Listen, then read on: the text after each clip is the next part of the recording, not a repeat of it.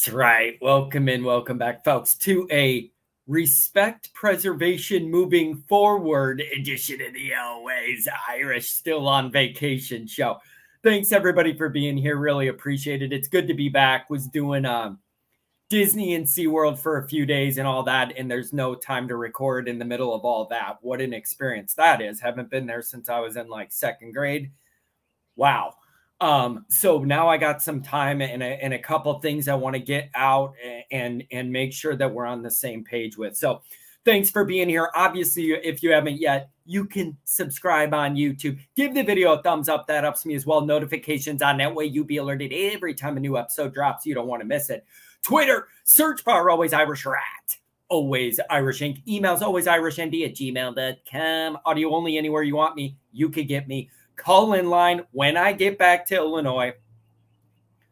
We're going to do a, a multiple call in shows. Like, I have not been available to interact with you guys the normal way, let you have your opinion on how everything's unfolded, react to some of the stuff I've said and wrote and all that. So we're going to do that as soon as I get back in a couple days um, so we could get back on track with you guys having your say. And I, I want to get back into that. Um, and there's people that agree with me on stuff. There's people that don't. We need to hash that all out, and we just haven't had a chance to do so uh, yet. Fighting Irish Wire, make it a part of your Google Notre Dame routine every day. All right. So, number one is you guys are doing great with the LSU family situation uh, a family at the bar we were at yesterday behind us, all decked out in LSU purple. You know me, I got to say something. Uh, not rude or anything, just on the way out, I just stopped by and said, like, I didn't just pull up a chair and join their family for lunch. On the way out, walking by, I just stopped and said, I had my Notre Dame stuff on. I said, obviously, you could tell I'm a Notre Dame guy. I'm just wondering what you think of Kelly so far. Uh, and I was genuinely cu- curious I know zero LSU fans in real life. None. Zero. I'm from the Chicago area. I don't know one person that that loves LSU. So I was genuinely interested. Uh, they looked horrified that somebody would stop and engage. Uh, the women were shielding the children. I, I was getting a stink eye from from the people. I don't understand. I was not rude. I was super pleasant. I just, on the way out, stopped by and real quick said, I, I want to know what you think of Kelly as a Notre Dame. They were horrified. I scared them like I was getting weird looks like, who is this creep?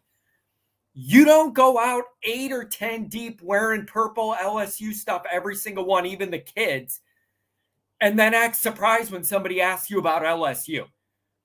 I, I don't understand why I got the reaction I did. They all acted horrified, like I was uh, trying to rob their table or something.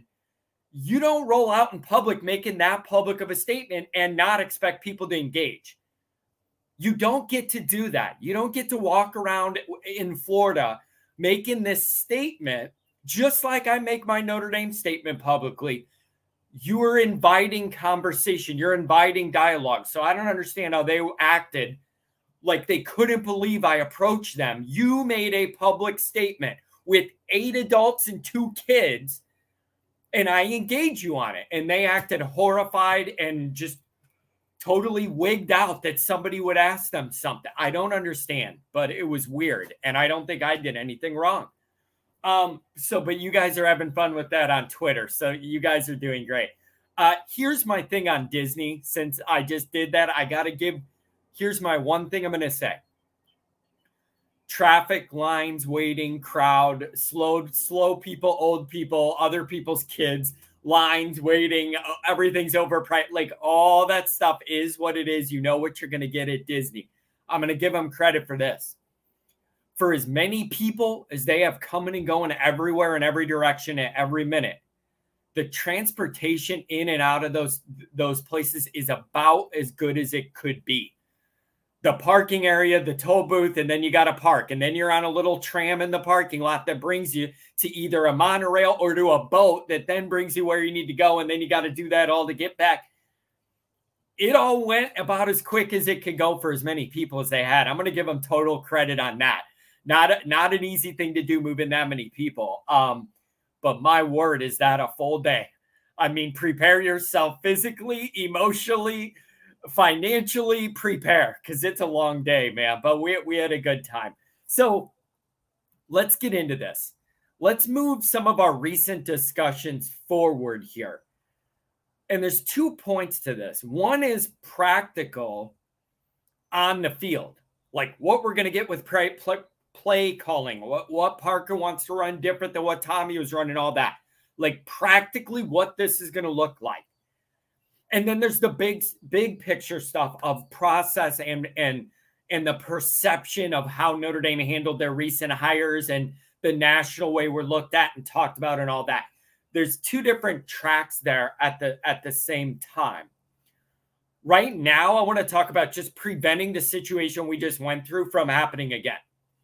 And just go over a couple ways I think Notre Dame could tighten this up. Um, I don't think I should have to do this episode, but apparently Notre Dame needs the lesson. Like I should not have to go over some of this stuff, but but I feel like it'd help because apparently they need it. So let me get into this and, and I'll make it quick.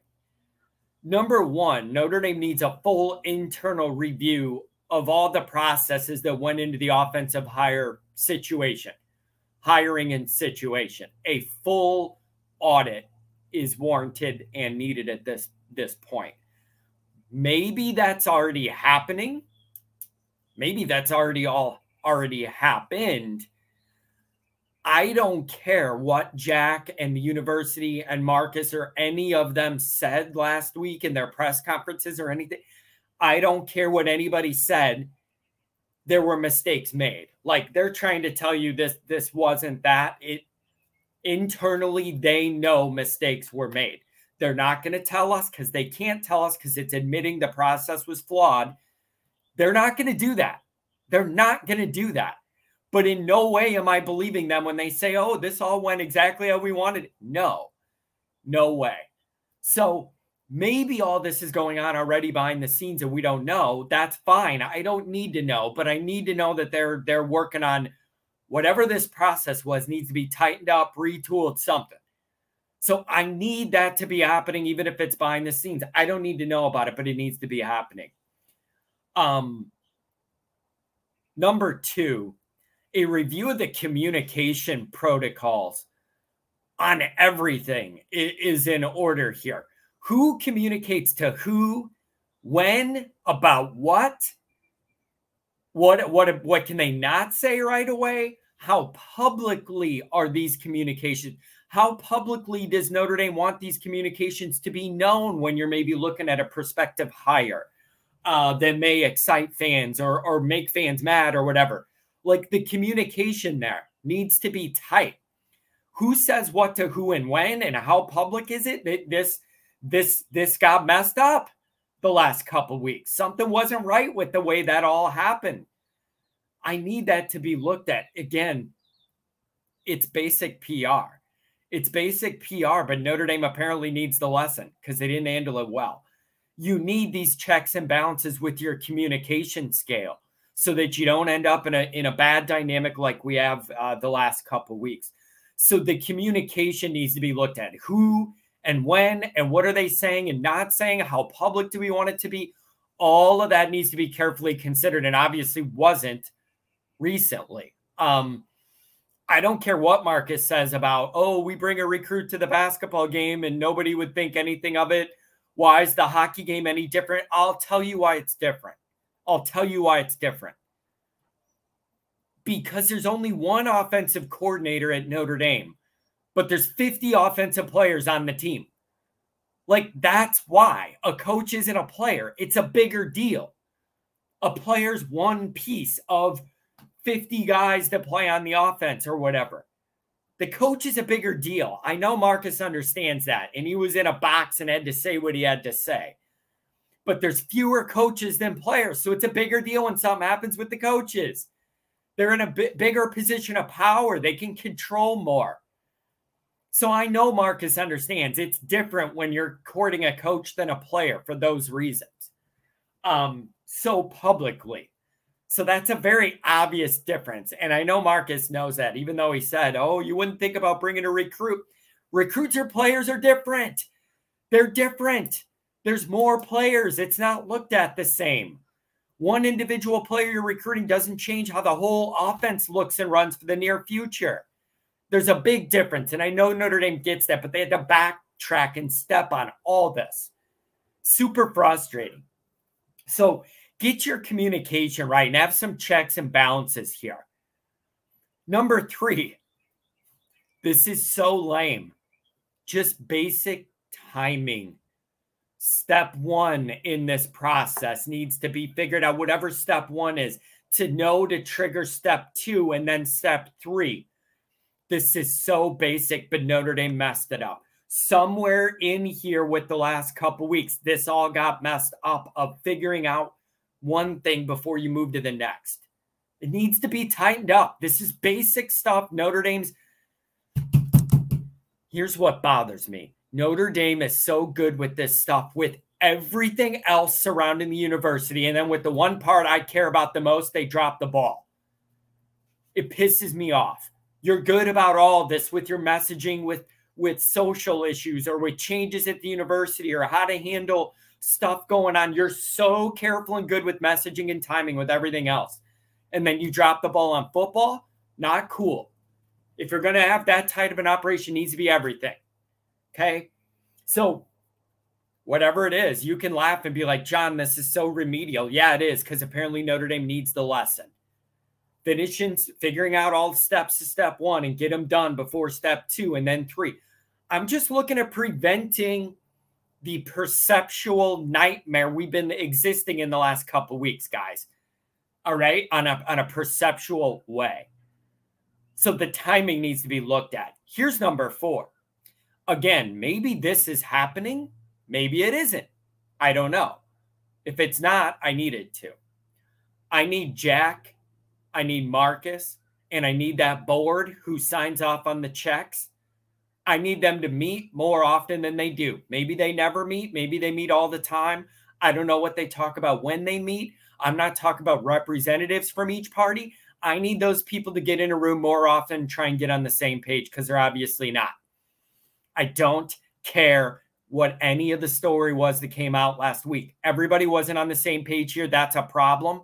And one thing I've learned about Notre Dame's history is once you start having cracks in the foundation between the coach the athletic director and the board, that's a bad start to a relationship. It's a bad when they're not all pulling or it doesn't appear they're all pulling from the same end of the rope. That's a bad dynamic you're starting with with the coach and the administration and the AD.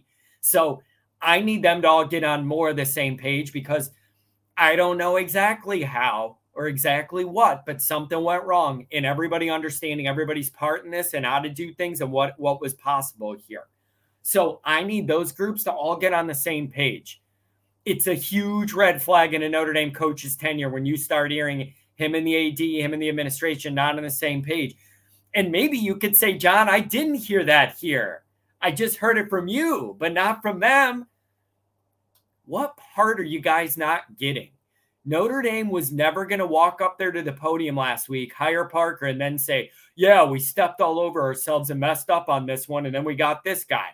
That was never going to happen. You got to fill in the intellectual blanks on your own based on what happened. And it's clear to see mistakes were made. I don't need to know what they all are, but I need these people to get in a room and get on the same page to avoid them publicly. Okay. And then here's number five. I come back to this all the time. I'm going to keep coming back to it.